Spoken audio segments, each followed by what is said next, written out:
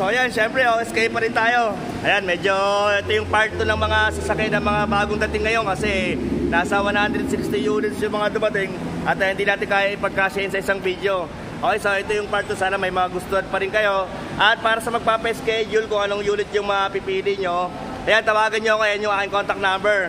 Then, uh, ito, isang mabilis na lang to para makarami tayo. Hindi ko na ipapakita yung mga loob ng mga sasakyan kasi maraming beses naman na tayo nakapagpakita ng mga ano eh, uh, loob ng mga unit. So, para marami tayong ma-vlog ngayon. At ayun, syempre, bago tayo magsimula, baka pwedeng magpa-like at magpa-subscribe. Ah. Naman dyan kasi medyo pagod ako. Ayan, kasi yan. Et, kung napanood yung unang vlog ko, ito yung pangalawa. Pero may pangatlo pa kasi sobrang dami na mga unit. Okay? Uh, subscribe kayo rito at para sa ibang sasakay na mga hinahanap nyo, Ayan, mag-follow din kayo sa aking Facebook page, ayan, sa Sir Bugs, para sa mga ibang unit na mga hinahanap nyo kasi ayan, hindi ko lahat kaya i-vlog, okay? Sa mga naghahanap ng ibang ibang kotse, meron doon. Scroll up, scroll up lang kayo. Okay, ayun, sana may mapili kayo rito. Okay, start, huwag natin patagalin to, start na tayo. okay, so ayan, sana may mapili kayo dyan. Kita nyo naman, oh, sobrang dami ng mga unit ngayon. Okay, pero dito na muna ako magsisimula. Ito last time kasi ilang beses ito na para serve, lagi na po-forfeit dahil uh, sa financing, ayan, di tumutuloy pag na-approve na. So kaya kayo kapag magpapareserve kayo, siguraduhin nyo yung unit na mapipili nyo kasi pag nag-backout kayo, mapoforfeit yun, okay? Pero pag di naman kayo na-approve, refundable. So ito, 2019 MGZS, ayan, automatic transmission, kulay blue, ayan, uh, first own, all original. Okay, ang kanyang mileage ay 18,000 only, kulay blue, automatic transmission, gas engine with sunroof, MGZS Alpha, top of the line. Okay, from 758, naging 728, 701 ngayon, 698 na lang yung presyo nito. 698,000. Ito napakaganda ng loob nito kung napanood yung mga nakarang vlog ko nito. Kaya pinakita ko na to. Okay, so 2019 MT-6S Alpha automatic transmission. Ayan, low mileage, kulay blue. Uh, sunroof, 698,000. Okay, so next tayo sa iba. Okay, and meron din tayong Civic dito na bagong dating. Ayan, kulay pula. Kaso wala pang details, kakarating pa lang eh. And ito, 2021 Innova E, automatic transmission, kulay itim, uh, 1,168,000, 1.168. Pero ito, alam ko, almost 2022 model na to kasi naka-award siya ng December. So, almost 2022 na siya. 1,168,000 na kanyang price. 2021 Toyota Innova E automatic. Low mileage lang din to. Alam ko sa 18 lang ito, ang mileage ito, mga 18K. Okay, then may sa mga Wigo, ito meron din, may mga bagong dating tayo kaso wala pang mga details. And sa Montero, ito, para makarami tayo, isang mabilis na lang to kasi marurumi pa. Ayan, 2018 Mitsubishi Montero Sport. Ayan, automatic transmission, kulay team, 1,258,000. Ito, acquired din pala ito ng 2019, no? Yan, kulay team. Sa sakto mileage, pagpunta nyo na lang kasi marumi pa yan eh. Pati sa loob, puro alikabok yan. Uh, 1,258 ng kanyang price. 2018 Mitsubishi Montero Sport. Uh, 2019 acquired. Okay, so next tayo sa iba. Okay, at meron pa tayong sa expander na white dito na bagong dating tsaka Fortuner. Kaya maganda, mauna na tayo mamili dito. Magpa-schedule na kayo para bago pa malinisin yan at malagay ng kartag, eh, mauna na kayo para matawaran na natin kasi mas mababa binibigay ni bossing yan pag uh, bagong dating pa lang yung mga unit dito. Okay, meron din nito, wala pang details eh. Tsaka itong kulay orange, sariwa rin. Meron lang konting mga, ayan, konting scratch lang dyan. Pero minor lang yan kasi sige na dyan sa sakyan eh. Okay, so dito tayo sa mga naghahanap ngayon ng Toyota Rush at saka ibang SUV at ibang Mirage. At eto, napakaganda rin itong isang yan, oh. Ayan, 3 days yun na ito nililinis. Ayan, sa wakas, tapos din, makintab na.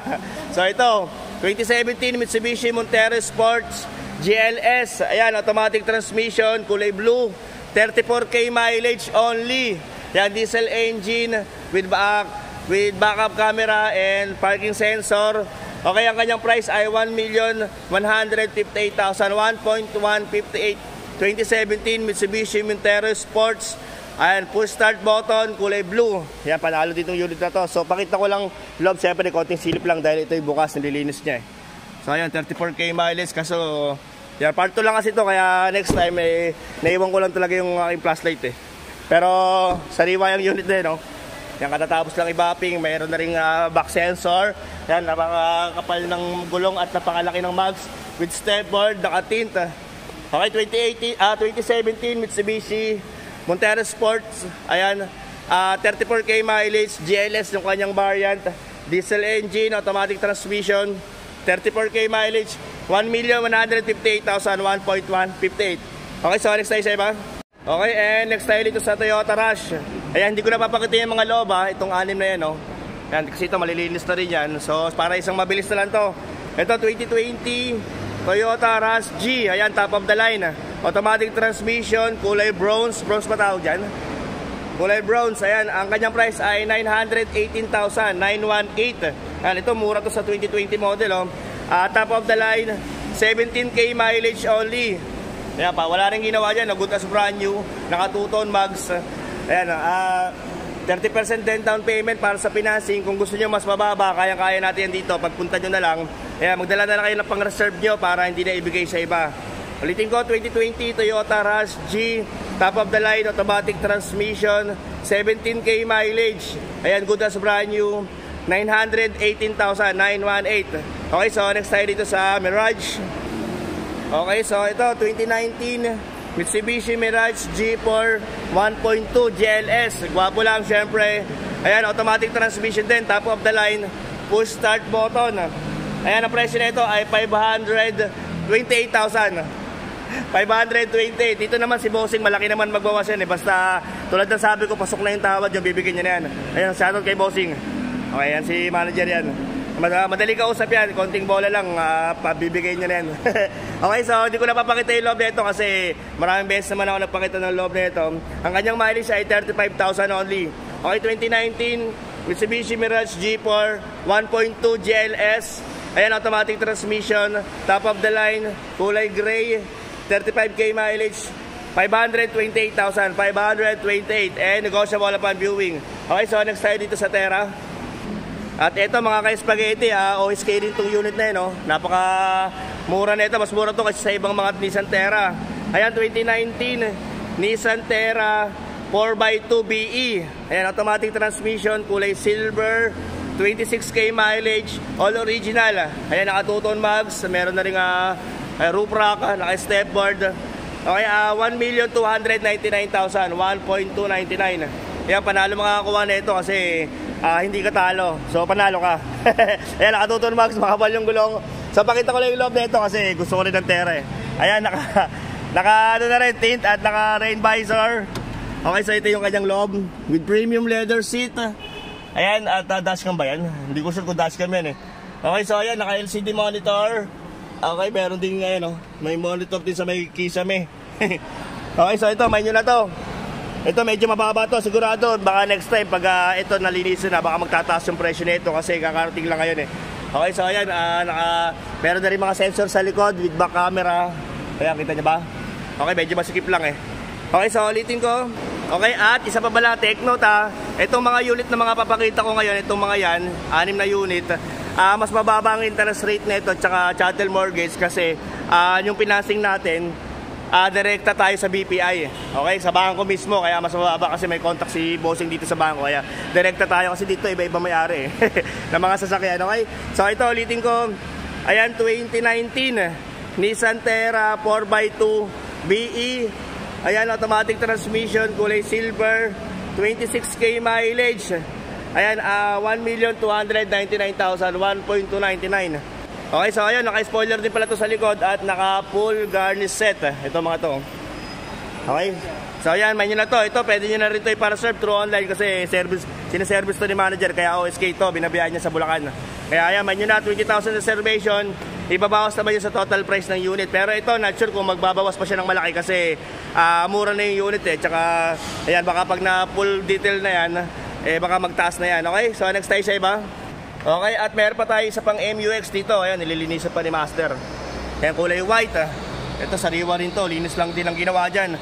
Ito, 2018 Isuzu, Isuzu MUX 3.0 Blue Power. Ayan, kulay puti, automatic transmission, diesel engine. Napapagod ako. Ayan, 35k mileage.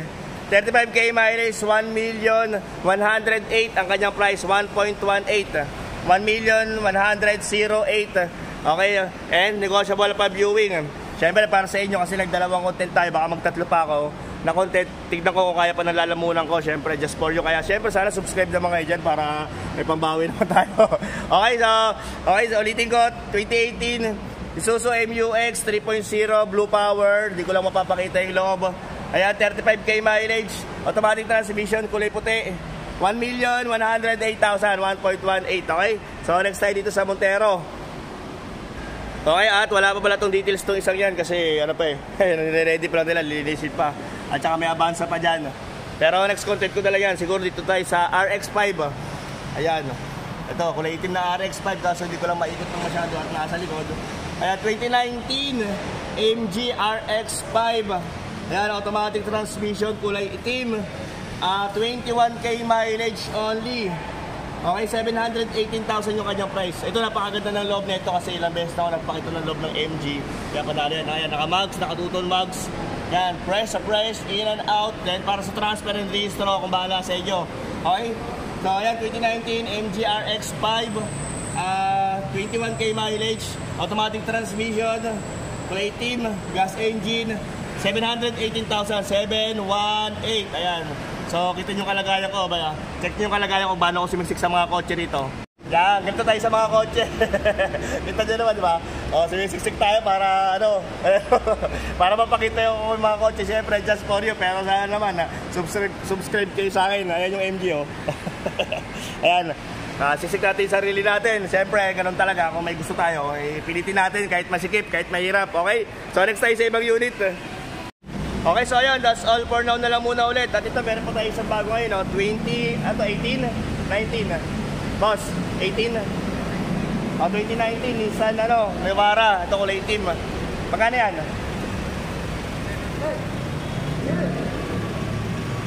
Oh, 950 daw, ayun. 950 ito, 950,000 daw yan.